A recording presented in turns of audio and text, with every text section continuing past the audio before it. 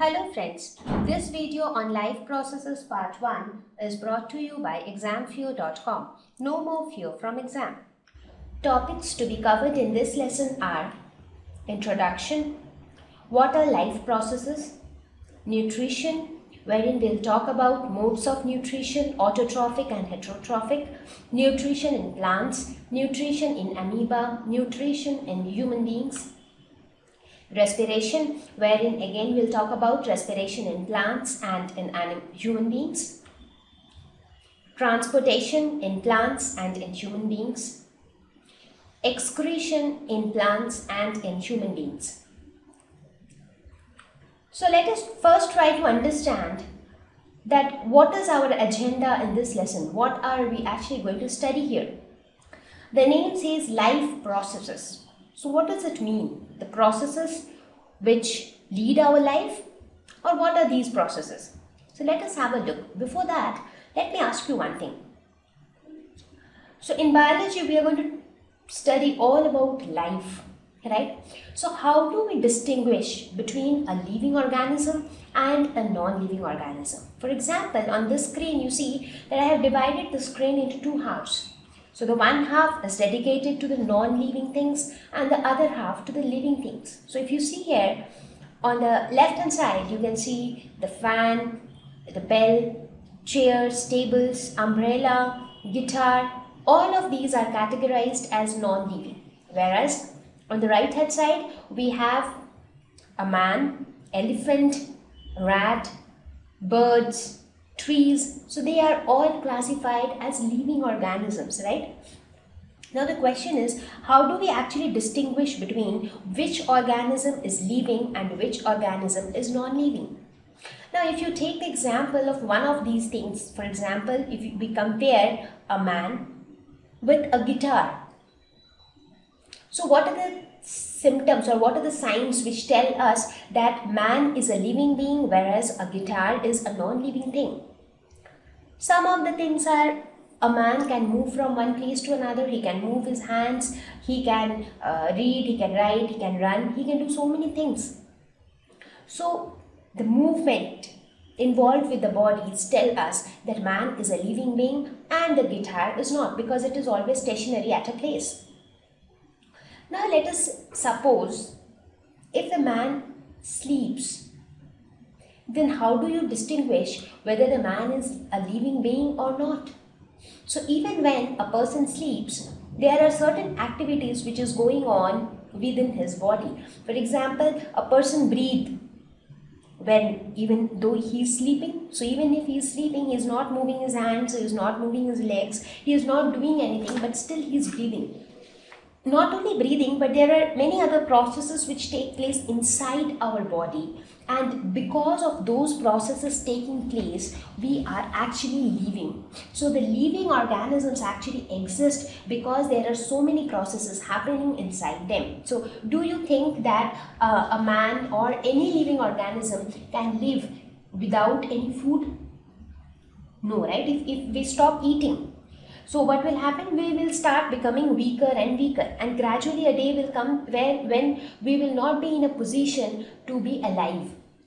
Right? So why do we need that food? Because there are so many things happening inside our body.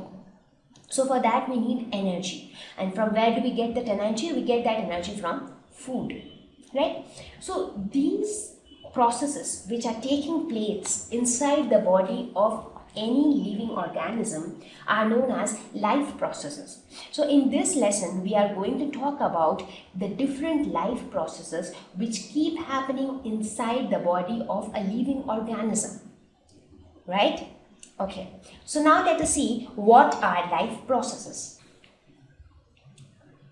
So let us look at the life processes. So as I just mentioned that there are several, several processes which happen inside the body of every living organism.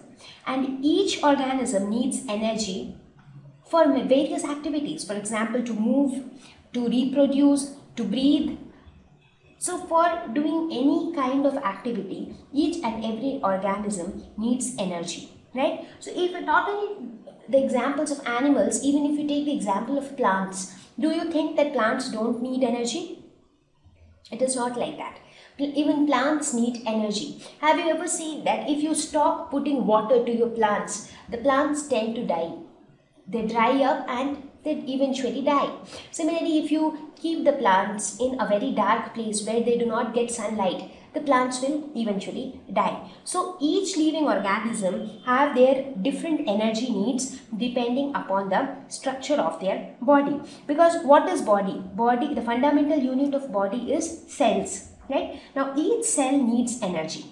So every organism will need energy. So how do we define life processes? These are the processes which together perform the maintenance functions which are essential for sustaining life. So as long as so as long as these processes are happening, we say that the living organism is actually living. So that's why you would have seen that when a person dies, what happens? When a person is dead, he is no more breathing. There is no more digestion taking place inside his body. Right? So, all the basic activities which used to take place inside his body is not taking place anymore. So, as long as these life processes are continuing, the organism is living. So these are the processes which are essential for sustaining life. Now life processes exist in both unicellular and multicellular forms. That is very obvious. For example, whether we consider a very simple organism like um, an amoeba which is made up of one cell. So that one cell has to perform all the functions of the body. So in that case, we do not have any specialized organs correct? But in case of multicellular animals we have cells which are combined into tissues and the tissues are again combined to form different organs and each of these different organs perform different functions for example, there are some organs which, uh, which are used for respiration, that is for breathing. There are some organisms which are used for uh, digestion. There are some other organs which are used, which are together forming the nervous system. So, you, we have specialized organs for to perform specific functions, right? So basically these basic processes or these process life processes are the signs of life so if any one of them fails, so it can cause a problem to the body. So what kind of processes? Now when I talk about the life processes, in fact, when we talk about the processes which take place inside our body, what all processes keep happening inside our body? For example, movement.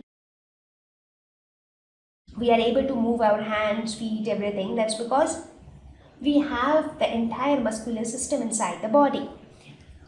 Similarly, processes happening inside body, for example, digestion, for example, food intake. So when we take food, there are some processes which keep happening inside the mouth. For example, we chew the food. So the teeth actually helps in masticating the food. Similarly, the saliva also plays its role. So there are so many things which keep happening inside our mouth we have something called as excretion. What is excretion? It means the removal of waste materials from the body. We have processes like reproduction which keep happening inside our body. There, there are processes like growth. You would have seen that a baby growing into an adult so how does it grow? It is not that um, uh, masses or uh, bones or something or, or fats are added on his body externally. It is not like that, right? So the growth also happens internal. Not only that, the absorption of food, that means the food particles which we take in. For example, we consumed rice, right? So what happens to that rice? When it goes inside our mouth. So some processes keep happening inside the mouth. Then it reaches our stomach. So there also there are some processes by which it actually reaches the stomach. So again something happens with that rice even inside the stomach. And some energy is produced. So that means there is some conversion of energy from food. So food gets converted into energy. So these are some of the examples of processes which keep happening inside our body right? So now if any one of them fails for example if i say that the process of digestion fails then what will happen? Now if the process of digestion fails whatever food particles we take in it will not get digested. So the person will suffer from indigestion. He will fall ill. So for the healthy functioning of a living organism all processes has to go on in synchronization with each other right? So here whatever examples i have given they are just examples. They are not the actual life processes. Now since there are so many different processes taking place inside the body of a living organism so they have categorized life processes into certain types. So that classification we will discuss in the next slide. Thank you Please visit www.examfear.com to watch more videos, attempt free online test, get free study material, find tutors and mentors. Thank you once again.